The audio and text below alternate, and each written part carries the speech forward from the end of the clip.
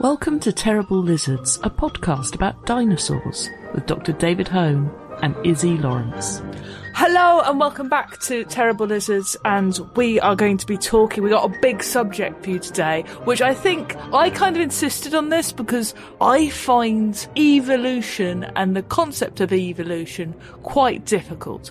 That might be because I'm me, but what I like about evolution, and I think I've got this right, is that everything on Earth is basically the same thing plus time. Not a million miles away, no. Yeah, that's a good start. Dave, do you, do you find the topic of evolution infiltrates um, paleontology quite a lot? Well, it does, because the, the one thing I like pointing out to, to my students, even when I'm teaching them about this stuff, is, you know, everyone thinks in terms of living animals for biology. Perhaps somewhat understandably. Um, but if you want to look at evolution in particular over any kind of time frame, you need the fossil record. You know, there are some amazing studies of things like, you know, the, there's the, the Grants, there's, there's a husband and wife team that worked in the Galapagos for like 50 years, catching Darwin's finches and putting rings on them and measuring beaks and toes and things like this on every single individual over generations. I did this for like 50 years. And that's the most extraordinary and amazing study in history. And it's 50 years. We usually think of evolution as operating over hundreds of thousands or millions of years. So however amazing that study is, if you really want to understand evolution, you kind of need the fossil record. And actually living animals are not very, or living organisms are not actually great for that. So paleontology should be, I think, even more foundational to understanding evolutionary processes than it is already, because biologists don't tend to think about fossils at all. I imagine the Grant's kids, their kitchen door is going to have the best graph and the best sort of like heights, you know, changing over time. I know that's not evolution, that's just growth, but still, because this, this is the thing, like a lot of skeptics of evolution, or usually religious people who don't like it, one of the things that they find frustrating about it is, is they can't, you can't witness it because it does take a large quantity of time. I mean, what sort of time are we talking about here? Well, so so that's that's obviously the first of an almost innumerable number of canards or misconceptions about these things is that it doesn't necessarily take a long time. On average, yes, it probably does to make big changes, but um, thanks to the fact that we have you know thousands, tens of thousands of scientists working around the world, there's all kinds of bits of evolution which have been literally directly observed. Um, the Grants actually they had one only like a year or two ago, um, where oh, I'm going to misremember the story because it doesn't really matter because I wasn't paying attention that much at the time. But I think it was a male of one species getting onto a new island and hybridizing, and then the offspring didn't quite fit with either parent and started feeding on a new food stuff. And it's like that's pretty much what you'd expect for this kind of thing to be going on. You know, we have things like oh, there's a bacteria in I think it was found in Japan that eats nylon. Well, nylon is an artificial substance which was first created, you know, less than 100 years ago. So the genes to eat and digest nylon must have evolved. Um, I mean, if you boil it down, the, the standard definition of natural selection given now is simply a change in allele frequency over time. And now you're going to ask, what's an allele? exactly. Well, this is the thing because you're a paleontologist, so really all you know about is rocks. I don't, well, I don't let's be honest, I know nothing about rocks. exactly, but that's that's the that's the stereotype. So when we're talking about genes and alleles, what is the difference between a gene and an allele? What are we talking so, about? So bear, bear bear in mind, very much not a geneticist, though I have had to teach bits of this before, and I am trying to simplify. So I mean, geneticists will already argue about what genes are in the same way that biologists will argue about what species are. But generally, a gene is a bit of DNA which codes for a protein. Is I think a, a common definition, or or at least codes for a certain thing. But usually that means a you know the code required to produce a certain kind of protein. when I was at school, it was uh, the the different alleles were primarily only about eye color. That's what we were taught. That was the example. So, so, so a gene is something that codes for something. Let's stick to that horribly crude definition. And alleles are different versions of that gene. And yeah, a classic one that's given is eye color, even though that humans have multiple different alleles and multiple different no, genes. they have brown and blue. Make yeah. GCS biology.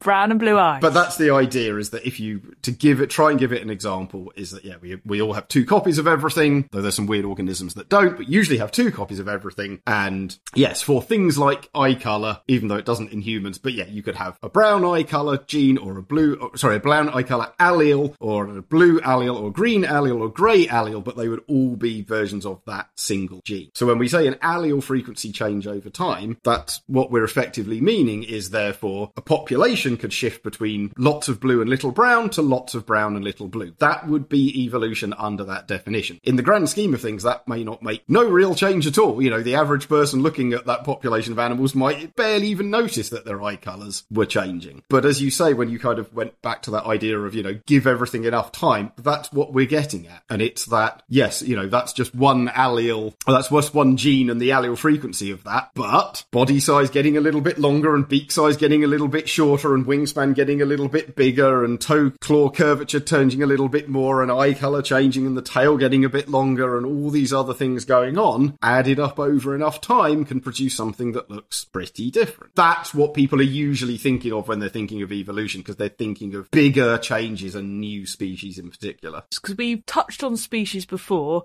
and we've mm. touched on the fact that it's really a sort of like smeary line about what in between the species and when you can cut off a species. You know, if a species has been around two million years, could the ancestors two million years ago still Yeah. still be the same animal really as the ones two million years later with all of the little mutations that have happened in between? We're trying to draw rings round a thing which hasn't got. We're basically trying to put a grid system on waves. Yeah, we're we're we're we're drawing we're we're cutting off a continuum and saying if this this is varied enough or different enough at this point. We're happy to draw the line when it comes to things like species. But evolution ultimately is a process. It is the fact that things change.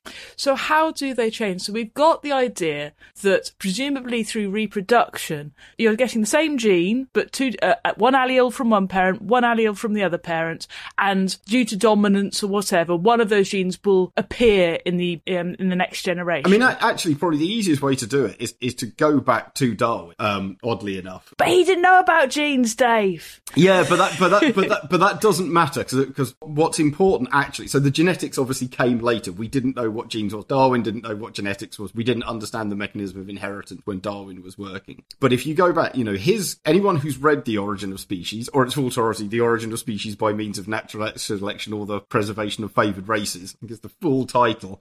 Um, Classic. if you ever read the book, and I, I didn't read it until actually I think I started my first postdoc. It was very, very late. It's really tedious.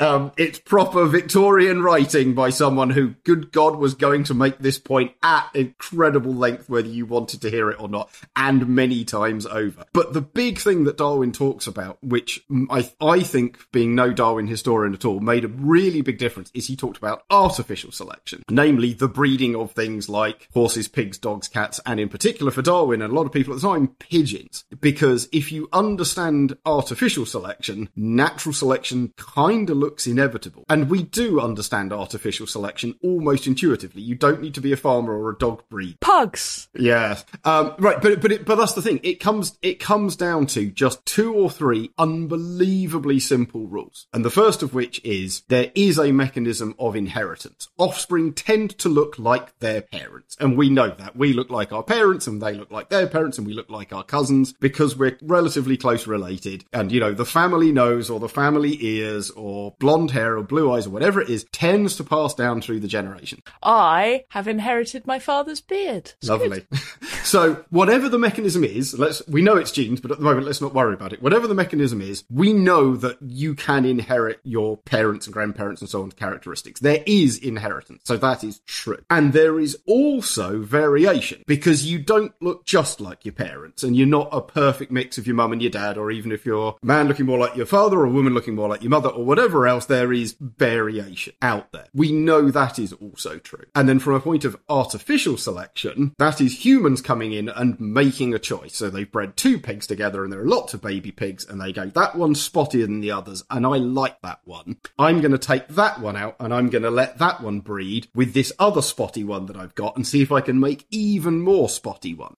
And that will mean- probably work because there is inheritance, so the spottiness is likely to be passed on, and there is variation, which is why some of them are spottier than others. And the and that's an artificial selection. That's all it is. And Darwin's genius almost in this point is kind of going, well, what if it's not humans making that choice for the faster racehorse or the prettier pigeon or the spottier pig? But what if the world does that? What if nature does that? And it's hot, so the ones better adapted to hot survive. Or it's dark, so the ones that are a darker colour are harder for predators to see. That's all it is. That's natural selection. It's that same thing. There is inheritance, there is variation. The conditions are going to mean that some of those things are going to survive better than others. Yeah, you say this, Dave, but I, I prefer spermist theory, which is a genius theory, thought of in the early, I think it's the late 17th century, which is the idea that each little sperm, which goes on to um, fertilise an egg, has got a tiny Oh, little little, person homunculus, the- yeah, in it, in it, and then that little person in it, if it's a male little person, will have its own sperm already perfectly inside it, and they will have little people in, and God has designed everything first. And really the only variation you're getting is the empty vessel or the female that you put it in. And then, it, and then that sort of like manipulates it to look a bit like her just because it's inside her for a bit. Right? That's, that's, that's another theory which Yes. I love historical theories on of science because that was that that was come up with the scientists. The church loved it, but that was uh, that was a old scientific theory before evolution came about. And, but as I say, that that is that is ultimately all it all it boils down to uh, for na- for natural selection. We have actually talked about sexual selection in the past. Some people consider that a parallel system. Some people that would say it's suborned by natural selection. But regardless, that that's what it is. And then, as you say, the question is then, well, what is actually facilitating that? And as we now know, DNA is the material which is our genetic code, and which is that stuff which is being inherited, and that can mutate in all kinds of interesting ways. So that's the first way that you can get differences. So, what do we mean by mutation? So we, we literally mean some kind, indeed almost any kind of error in the copying of your genome. So as your cells divide and your body grows, DNA in each cell copies itself and it will make mistakes That would be mitosis. that, yeah, it, it will it will make mistakes doing that. So those are individual errors, and they'll appear all in your cells, all over the body, all the time. But of course, they won't be inherited because they're bits of an arm or bits of an eye or, or whatever. But also, when your body is producing sperm or eggs, it does the same thing, Meiosis. Look at me go. but splits them in half. And so sperm or eggs contain only half a copy. And there's lots of things that can go wrong. A single base pair, what we call a point mutation, so one of all the billions, I think it is, of, you know, ACGTs, the classic line that runs through these things, that can just switch and be replaced by the wrong thing. Whole chunks of your genome can come out or come back in or be swapped around or turned upside down or taken out of one chromosome, which is a big block of DNA, and bolted onto another chromosome. Chromosomes can fuse to each other. Chromosomes can pull apart from each other. Entire chromosomes can duplicate. There's loads and loads and loads of things that can go on, all of which are mutations. And a lot of them, certainly the big ones, can have, you know, really quite nasty consequences and make, you know, a, a cell or an embryo inviable or produce some very nasty and unfortunate genetic diseases. Lots of them make no difference whatsoever. Lots of your DNA doesn't do very much. It's what they call junk DNA. Is that Right. oh, yes and no, because it gets it's a lot more complicated than that, and I, that's where we start getting well outside of my knowledge. But certainly there are bits that don't do very much, or that have repeats, or are copied elsewhere. And the other thing is, of course, you, in a full set you have two copies, and if one side is broken but the other side is fine, that may not be a problem. The working side will carry on, and the broken side it might be have the dominant allele and the lower allele might be fine. well, no, that's a different. That's a now you're. Oh, that's now you're mixing can we? two Can we? Yeah, no, exactly. So can we? Can we just go? So uh, an allele is a is a, a a copy of a gene, A version of a gene. a version of a gene. Your entire genome is your twin copies of everything, your two strands. We talk about strands of DNA, but they're all bolted up in chromosomes, so it's not like it's one continuous bit. But you've got two copies, one from each parent. And if you if you ran them down top to bottom, they should be basically not quite quite identical, because those are the differences, but you should have the same bits for all the same gene. Okay, some might actually be missing. And if you looked at an individual gene, they could both be the same, they're the same allele, or they could be different, and they could be different alleles. And that can vary massively. You know, some, some things are incredibly important to your development and they're basically the same in every human on earth. And if they ever deviate from that, you basically would never develop. So genes are made up from bits of DNA, which is the A letter things, which is the double helix But stuff. again, g- g- genes are a bit like species in that So the, what we mean by genes, we mean by a bit of information. Which we usually mean a string of DNA that codes to Okay. build something. Alleles are the different copies of that which we'll go into and which will Yeah. pass on the characteristics. Chromosomes, Chromosomes are big blocks. So bigger blocks. So a gene is just a smaller block of a chromosome. Yeah. Okay. And everything is DNA. Yeah, so you, ultimately you've got a giant thing of DNA that is broken down into chromosomes, and on that chromosome you could talk about genes. I'm sure there are subdivisions in between, but I don't know them. They're large. And we don't need to get into subdivisions because my head will explode. So keep it simple Yes. and nicely. And and then now you've brought up dominance. So so if you have your two alleles again, they could be the same, they could be different. And as we sort of hinted about with in terms of like repair or dealing with broken things, your body could copy either. And some things are considered by your body doing these odd things. Again, we're skipping over such enormous complexity, but it could do either of them, or it may favour one over the other. And this is really what we're getting to when we say dominance. In that if you have two different alleles for the same gene and one is dominant, your body will always copy the dominant one. So if you have, if you might have brown eyes, but that might be that the gene for brown eyes is dominant. Yeah. And you actually could have blue-eyed children because you could go with another brown-eyed person Yeah. and pass on to less um, recessive genes, yeah. which give you blue eyes. But you've got a much smaller chance of that happening statistically. So that's that's that's that when when you mentioned earlier about things skipping a generation, that's often what's kind of going on. Is yeah, if your parents both have brown eyes, they could be brown blue and brown blue, and you happen to have inherited one brown and one blue, and yeah, you all three of you would have brown eyes, but that blue gene is still floating around, and you could then meet another brown-eyed person who has brown and blue genes, and yeah, you'd expect if you had four children, one to be brown brown, two to be brown blue, and one to be blue blue. And so one child would have blue eyes, even though the parents and the grandparents all had brown eyes. Those blue eye genes were still floating around there. You can have codominance, so you could have a brown blue mix in this hypothetical example, because again, human eye color is not determined off one allele, one gene. Um, but you, you know, you can get things, you can get things like that. And so, yeah, this is the, this is an important part of that mechanism is that all kinds of odd little bits of genes are floating around, not being used and can pop up again later in later generations and in other weird combinations of different things. And all kinds of mutations can be going on. You know, everyone in the world or every population can have brown eyes and one of those alleles on one strand of DNA mutate and it's now the blue, but that's not going to show up because it's the sole blue gene out there. But a few generations later, when you've had some kids and they've had some kids and they've had some kids and now there's quite a few blue copies floating around, suddenly two blue parents meet and have blue kids and now suddenly you've got blue-eyed children for the first time ever. But actually that blue gene might have appeared as a mutation generations ago. And and the, the thing with that sort of thing is because people assume that natural selection there has to be an advantage at every single step of it. This random mutation that's cropped up several times in a population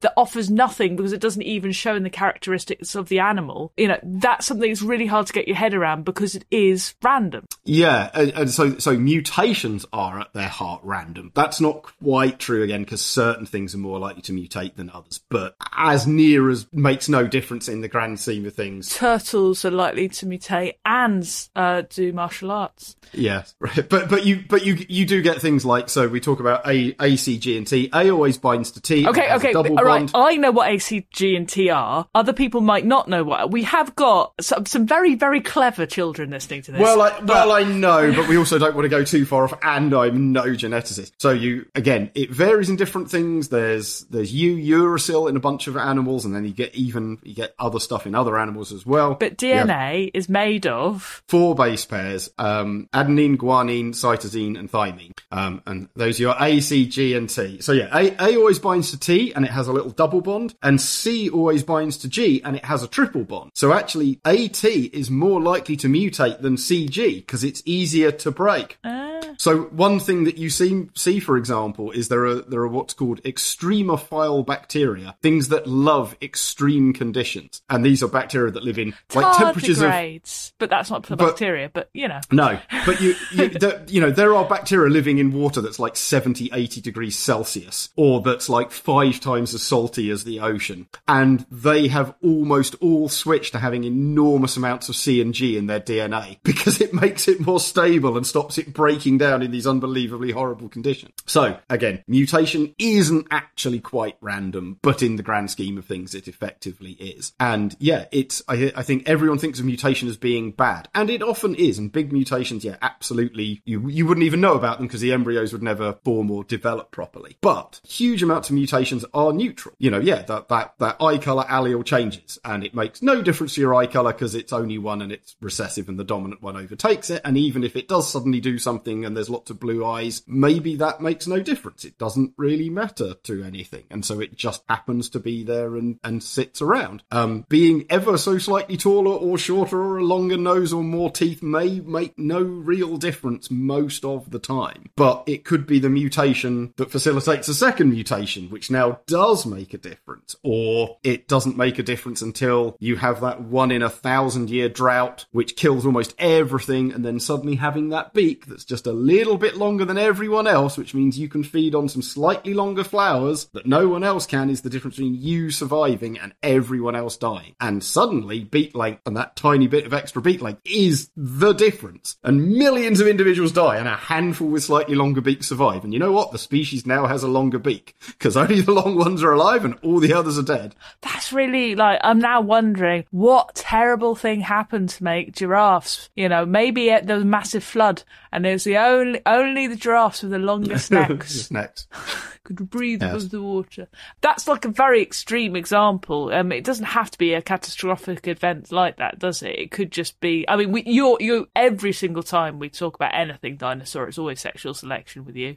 You're always like, this is why. Well, but but this is but right, but you there, there is that point. So there's this there's this this adaptationist argument, and this this is actually a big problem. I think paleontology. Uh, I say that it's not like oh my god, paleontology is full of adaptationists. It's a nightmare, but it, it is a problem. So the adaptationist idea is the idea that you know everything does something, and I don't think that's true. I think most biologists actually don't think that's true. Uh, you know exactly how long our little fingers are, for example, I don't think is adaptationist. I don't think that's actually making some big deal to how we function as an organism. Okay, modern humans are a bit weird, but even, you know, going back, I mean, guitar players will get more. they'd have preferred a longer one. Yeah. But it's like, but that, that's the problem is that it's very hard to know, even looking at a living species, exactly how important any given feature is. But it also means it's very easy to fall into the trap of seeing something and going, wow, this animal's got one giant tooth right at the front of its snout. It must be doing something special with that. Well, maybe it isn't. Maybe its genes are actually a bit weird. And what's really important is that it's got some big teeth at the side of its mouth. But the way the genes are tied together is that you can't have big teeth at the side of your mouth without having a big tooth at the front. This is a bit like your um, proposition that uh, T Rex has got these tiny little arms, not because they serve any function being tiny little arms, but because it needs those little arms because the genes that associate the neck muscles holding its massive head up are also the ones which control for having some arms, and you may as well Yeah. just have small ones because why lug them about if you're not using them? Well, that's the thing. It's it, that's the thing. It's not may as well. You you there's no functional choice unless the perfect mutation or perfect combination of mutations occurs to delete arms but keep shoulders. It might basically be impossible to get rid of arms. I don't know. That's some speculation by a friend of mine, but it's let's take that as being the case. But you know, if that is that really is the situation, yeah, the question of what are T Rex's arms for shouldn't exist because the arms aren't for anything. It just hasn't got rid of them. Um, you know, you could, kiwis are a great example. So the, the kiwi bird, the kiwis, the, the, their genus name is Apteryx. It literally means wingless. If you ever seen a kiwi skeleton, they have arms. So despite the fact that their name means wingless bird, they, they have arms. But they, they don't have look, wings. They look fluffy and cute. No, but their their arms are so incredibly tiny, they are reduced well beyond what you'd even think of with something like T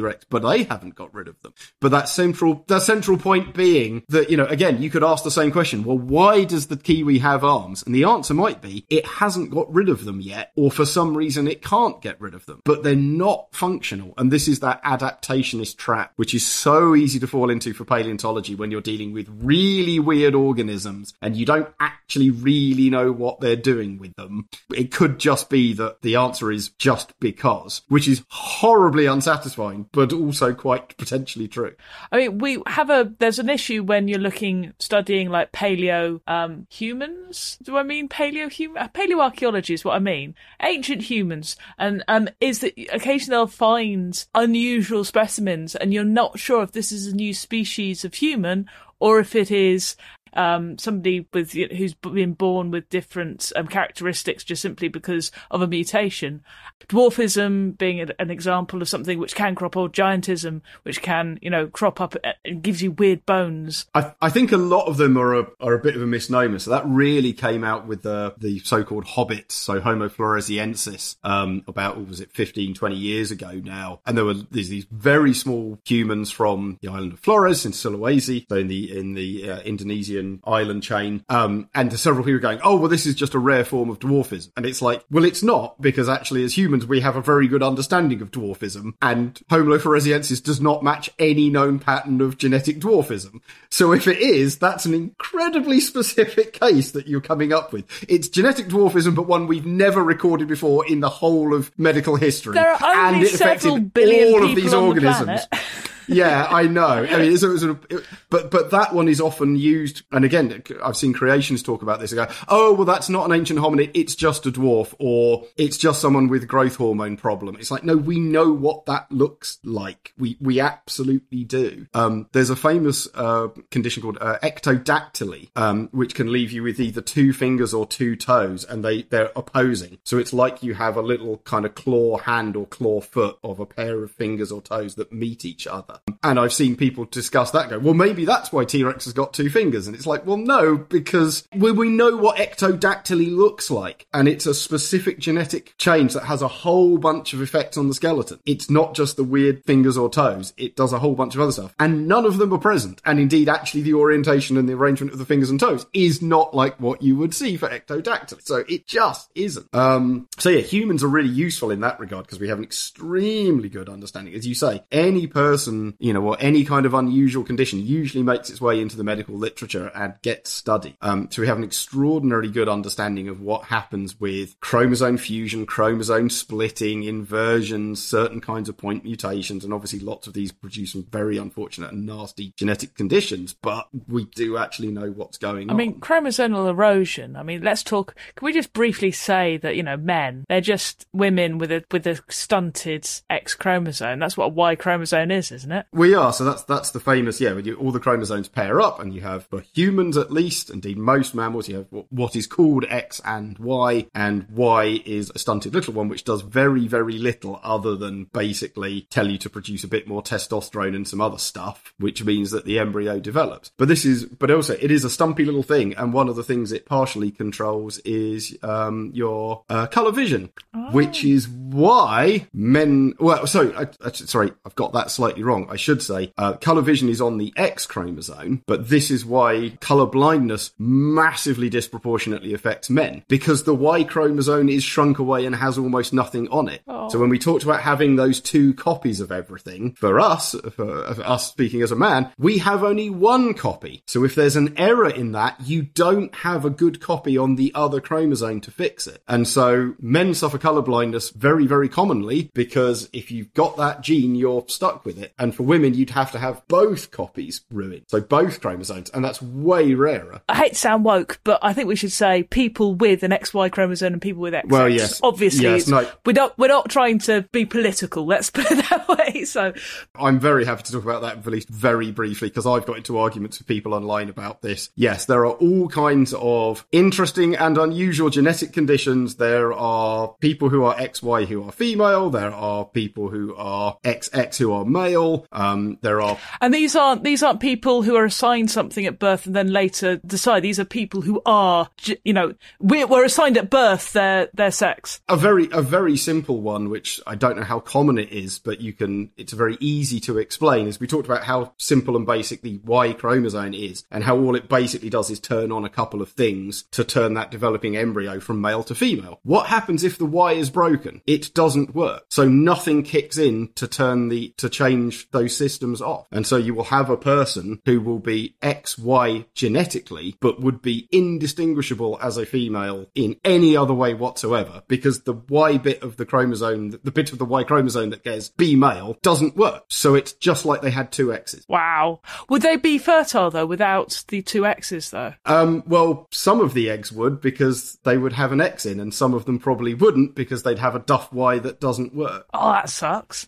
Uh, But but, Yeah. but I mean, my, my, my understanding there is there are there are people who have learnt about this only after a you know genetic test in their eighties when they've got kids and grandkids and everything else, and it's like, oh, by the way, you've actually got a Y chromosome. It's just duff. Yeah, you you wouldn't literally no one could possibly know this, and therefore, again, for yes, we're we're, we're not being woke. We're being literal biological here. It is perfectly possible to be an XY female and not in any way trans or have genetic abnormalities or anything like that. You would be as, I'm trying not to use the word normal, but I think everyone understands what I'm trying to say here, as indistinguishable as anyone, as an identical twin who was otherwise XX. that's really Like, cool, be- isn't it? Yeah, and on the same on the same line, you know, you you get some. I, I don't think it's ever turned up in humans. In fact, I don't think it's true in mammals. Um, but there's this amazing condition called bilateral gynandromorphism. Nice. So bi two lateral sides, gyn from gynecology meaning women, and and from andrology meaning men. So two different sides, male and female. Oh, I've ha- yeah. It's it's fairly common in butterflies, uh, but there are even birds. If you, I mean, it's I was going to say, ju- I'll just say, type Google gy- bilateral gynandromorphism, and that's a tricky one to Google. But you can find photos of butterflies where the wings are different on the two sides of the animal, and one side's got a little fluffy male antenna and the other doesn't. There is a cardinal, those beautiful red canary red birds with a little fluff top on the top of the head that you, these finches that you get in North America. There are bilateral gynandromorph cardinals. So bright scarlet red down one half of the animal with a little crest on the head and white and brown on the other for females. So um, all I'm hearing here is when you're drawing your T Rex, what you can do is you can have the white with blue spots on one side, and you can have the dark green tank color on the other. Be- because obviously paleo artists are well aware of these kinds of features that are present in things like birds. There are absolutely images of bilateral gynandromorphic dinosaurs out there. People have already done it. And yes, I'm sure some of them existed at some point. But yes, j- just just to be purely biological, this idea that male and female and X and Y splits perfectly is not true. Now I know that we have as um, humans, I think we've got 28 chromosomes. Am I right in thinking? Oh god, it's 30 uh, uh, Is it 36? I- it might be 36. I think it's like- 36. It's something like it's one of those numbers which sounds important. It's something that I should absolutely know, and off the top of my head, I'm like, you don't study humans, you study dead things. So how does that? How is that different? Because I know that things like fruit flies have loads of chromosomes for whatever reason, and then uh, I don't think they have very many. Uh, Okay. Salamanders have loads for no apparent reason, and giant genomes. Their their chromosomes are very big, as they don't just have lots of them. They're, they're lots of genetics. does that make it more or less likely that they're going to get mutations and variations? Though. Oh, I, I don't know because it depends. It depends what they're doing. Like you say, Yeah. it's junk. Junk isn't really the right word, but there is.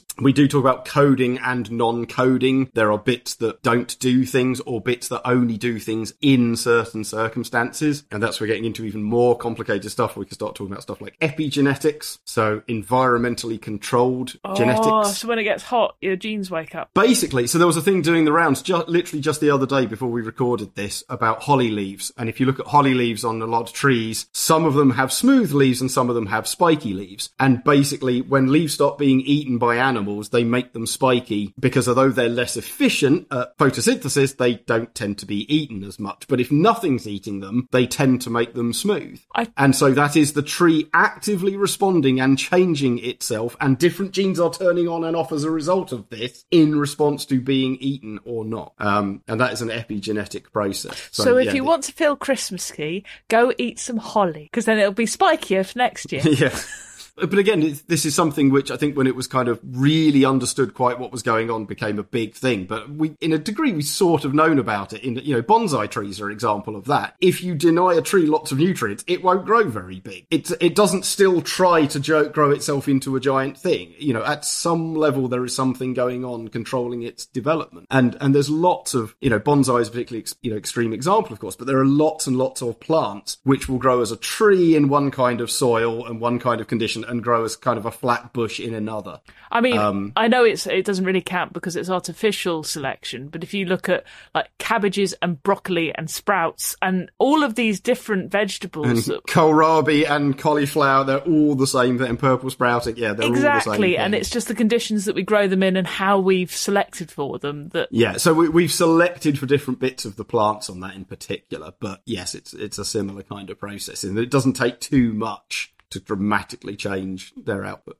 Yeah, that's that's weird. So, what do we know about dinosaur? I mean, we know lots, obviously, about um, extant dinosaurs. We know lots about birds and their mutations in DNA and things like that. Do we know anything about? Because we've already said that DNA cannot survive a certain amount of time. Well, in in theory, at least. Well, in in theory, it could survive an extremely long time. It's just that it's so rare, and it, the conditions would have to be absurdly perfect. That it's Oh, so- effectively never going to happen. Dave Hone just said Jurassic Park is real. That's that's what I heard. Yeah. So, so, so you know, so for a, for a long time, I think it was said that you know it was like about half a million years, and beyond that, you probably wouldn't get DNA. And we've now found stuff that's a million years old, and then we found stuff that's two million years old. But again, this isn't the whole genome; these are fragments and bits of genes. And again, the difference between two million and sixty-five million to get even the old, you know, even the last of the dinosaurs is absolutely extraordinary. You know, it's going to be, mm, you know, tens, hundreds, thousands of times less likely. Um, and so, yeah, there are a couple of people who've said they found some protein fragments, which isn't the same. DNA is a protein, but it codes for lots of other proteins, and some proteins like collagen that make up cartilage in your knees is very resistant to decay, and other things like DNA is a lot less resistant to decay. But people tend to conflate protein and DNA, um, and or think that protein means oh, it's something very biological and fluffy, and it decays really quickly. So if you've got protein, wow, it must be you know incredible. It's like well, not necessarily. You know, cartilage is pretty tough stuff to break down. So yeah, there is that stuff out there, but personally, I don't hold up any hope that there's any real genetic material in dinosaurs. Yeah, but that's because you're British and a pessimist. So Eh, there's always or hope. me.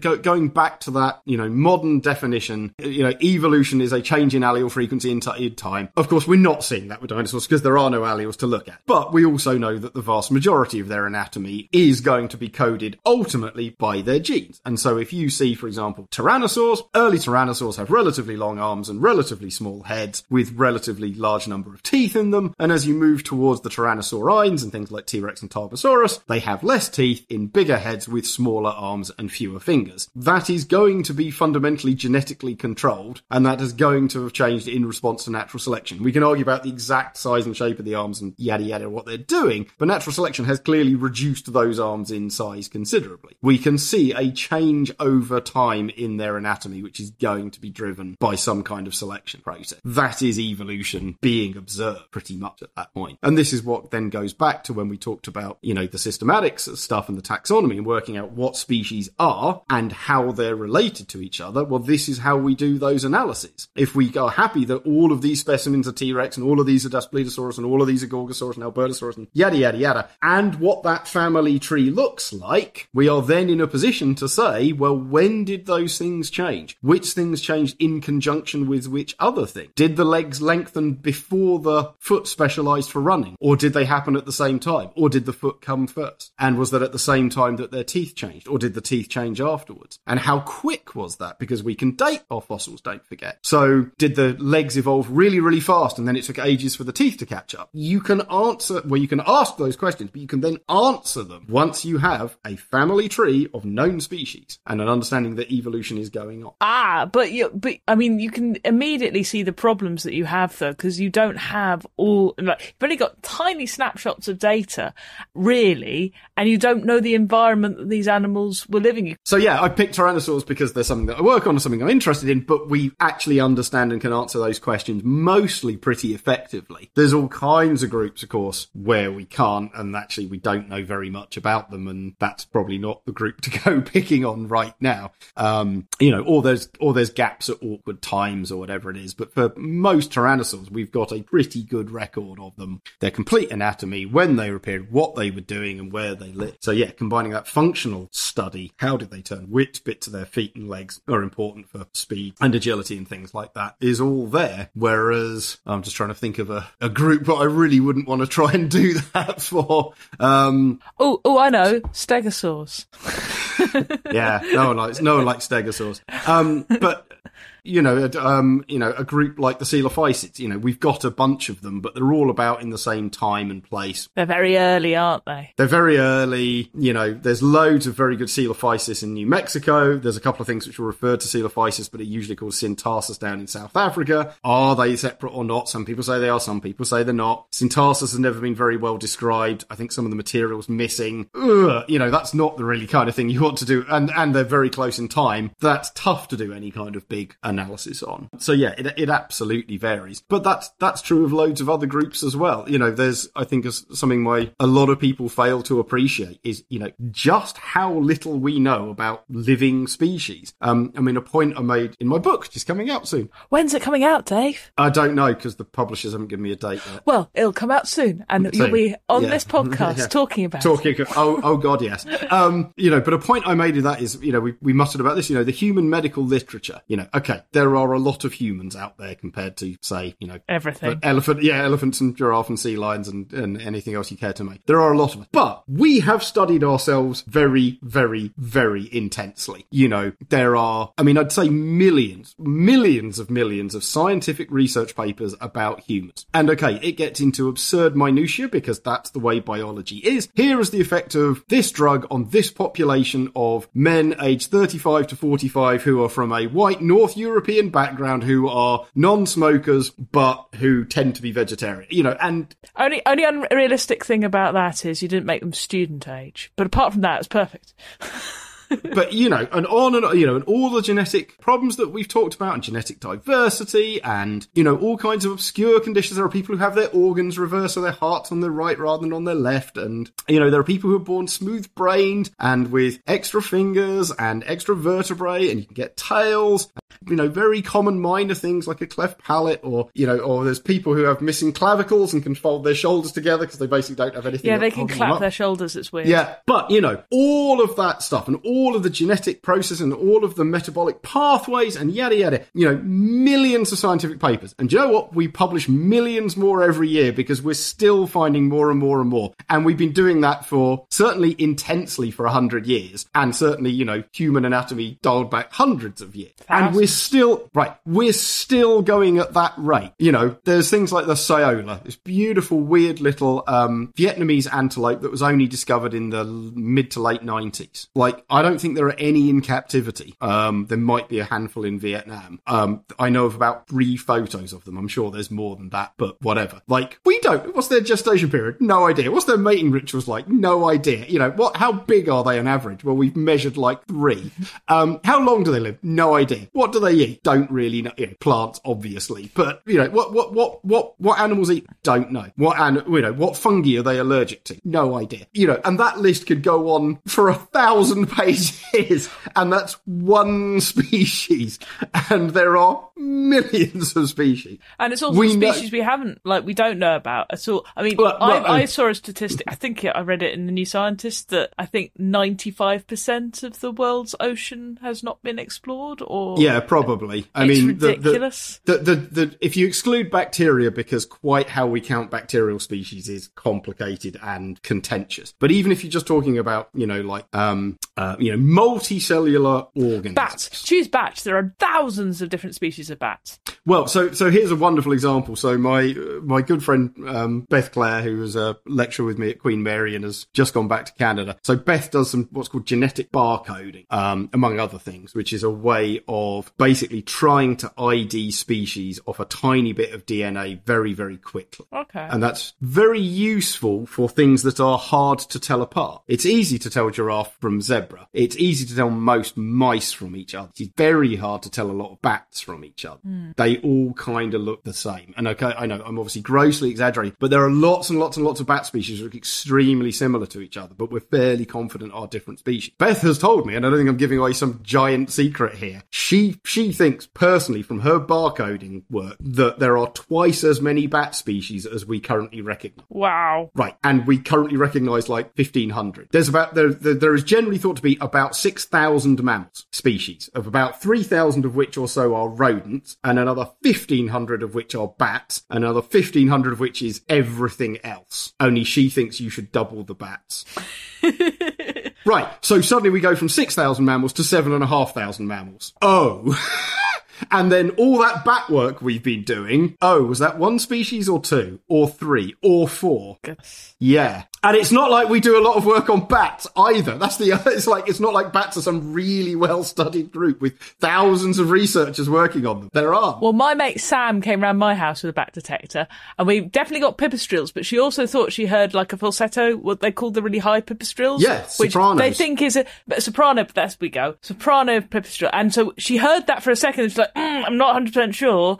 And then you've got that thing of going. So do we have two species of bats, or are they just one species with like you know? So squeaky pi- pipistrelles are, are the are the absolute classic example of this. Is that if you because so this was a large part done by a guy called Gareth Jones, who was one of my lecturers when I was an undergraduate at Bristol. He was a big part of this work. Um, so yeah, everyone knew pip- pipistrelles are a very common small bat in Europe. And if you're if you're in the UK and you see any kind of small bat flitting, you know, something like mouse size flitting around, it's probably a pipistrelle. Um, and everyone knew that there's basically two lots of pipistrelles in that there's kind of browny ones and there's kind of grey ones, but they're basically the same. And actually, if you measure their calls, some call a bit higher than a bit lower. And this is the classic thing that genetics changed because once genetics became, you know, we, we knew what genes were in the 40s and 50s, but like until you could actually do this very quickly and simply and cheaply, you know, taking an individual and looking at its genetic was incredibly hard to do. So no one did it until like the 90s. And even then, that was a big, expensive study. And they started looking at pipistrelles and went, no, hang on. All the brown ones live in one place and all the grey ones live in another place. And you never find brown and grey ones together. And they call at different pitches. And actually, if we look at their genes, they're not breeding with each other. Well, if something looks different and sounds different and doesn't breed with the other thing, it's a different species. And so pipistrelles, like the absolute most bog standard European bat, suddenly became two species. And it's like something that common and that obvious and that well studied we'd missed. Then yeah, when you get these horrible species complexes of neotropical bats buried in, you know, Ecuador, when no one's looking at them in any great detail, although like, you know, there's two researchers been working on this for 20 years, but like against the dozens and dozens of species, how many actually are there? Uh, and yeah, Be- Beth has talked about this stuff to me and said like, you know, you, she, she, she does a lot of stuff in Central America, you know, Mexico down to kind of Guyana, northern Brazil kind of area. And you'll speak to researchers and they go, uh, you know, it's like getting out your bat guide and it doesn't match any of the bats. And they go, no, no, see in Brazil, this species is just much bigger with ginger wings. And you're like, so it's much bigger and a different color and lives in a different place. Oh,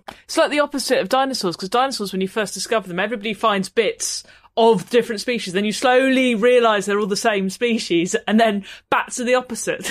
Right, but it, but it, at least part of it with the bats is probably because they're not functioning like us. And this go actually, you know, as in we are visual orientated animals, and so are an awful lot of mammals, despite their limited vision. Um, you know, they're as in limited color vision. You know, they they have good eyesight. They're good at recognizing patterns. Well, bats don't do that. They're nocturnal, and they make little calls to each other. And so Good. they don't care what each other looks like. They care what each other sound like. And so that's how you can hand some very, very similar looking bats because they're flying in similar places and feeding on similar things in similar ways, but their calls are different. And as far as they're concerned, they're totally different. They literally can't hear each other. So they're never going to breed. But we would just look at them and go, well, these two look the same. Probably can't be. I think before we before we sign off and sort of you know one thing I really want to underline for people because I have I have a lot of religious friends who think that there is a sort of grand design stuff.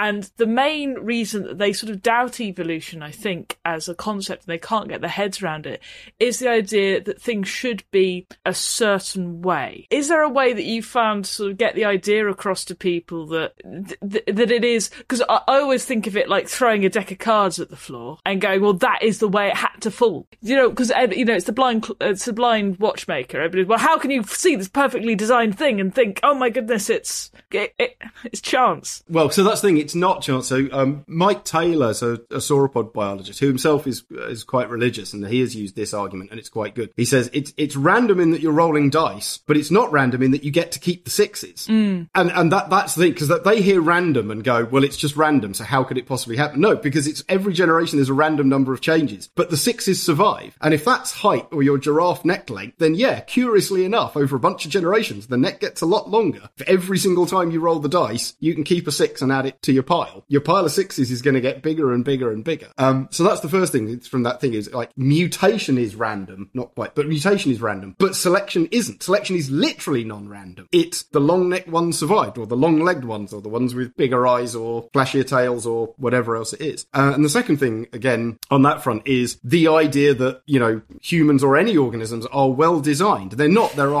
horrible mishmash of compromises. I mean, the, the, the most obvious thing is eyes. So eyes are the thing that everyone picks on. And, you know, this, this, this has been the, the intelligent design movement's big one is, oh, how could you design an eye? And it's like, if I was going to design an eye, I would design it a damn sight better than the human one. With the blind spot, it's nice. Things could surprise you. So that's thing. So first of all, things like cuttlefish can see in um, UV and infrared. Mantis shrimp can see more spectra of color than any other organism on Earth. If I was going to make a really good eye, I'd probably start with that. I've always wanted to get a mantis shrimp and put it next to a microwave so it can see the low dark colors going around. yeah, it, it, it, it, yeah, they can. So, so that's the first thing is you know you could definitely yeah give us better vision in terms of you know making it you know see into different spectra. You could give us bigger eyes, which would actually give you greater visual acuity. That's quite a big deal. Um, we'd look a bit weird to ourselves, but you could absolutely put a bigger eye in our head and have better vision. Or put them slightly more to the side so you can see a bit further behind you.